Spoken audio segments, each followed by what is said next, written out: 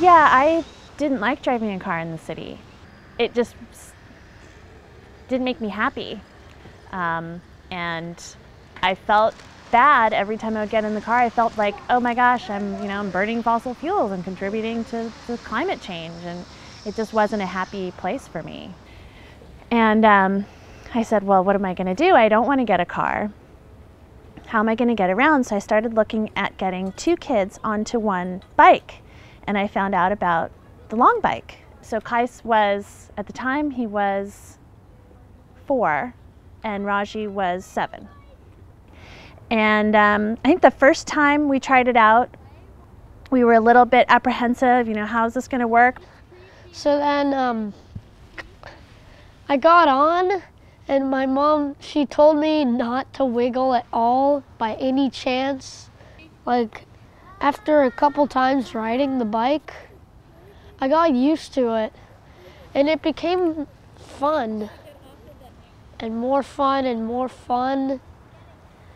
So we would, every morning, ride the six blocks to Raji's school, New Traditions, it's right up the street, drop him off, and then Kais and I um, ride all the way into the Presidio and we would go up Arguello. And the first three days, we had to walk because I couldn't do it. And then it was the fourth or fifth day, I I said, okay, I've got my gears in the right place. I've got my momentum. Let's see if I can do this. And Kais is in the back. Yeah, mom, you can do it. You can do it. Cheering me on. And I made it up to the top. It was so awesome. I like that when she goes down hill, hills, it feels fun. You go super fast.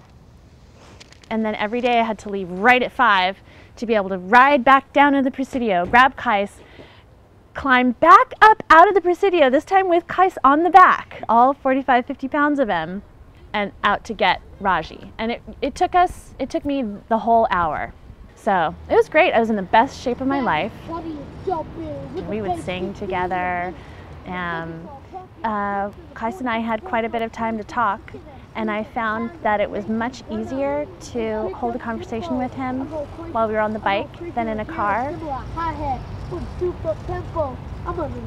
Mostly I get positive responses.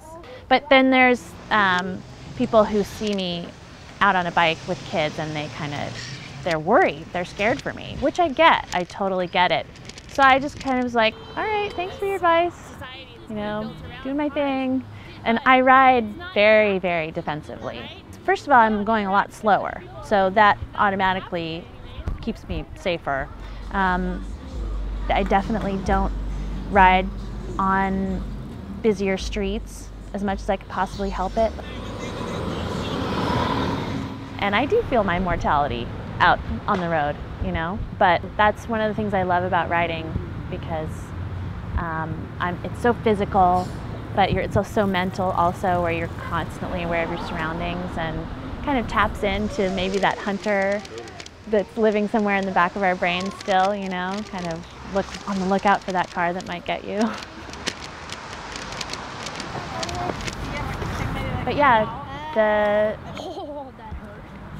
the sense of freedom that we have, I wouldn't trade for anything.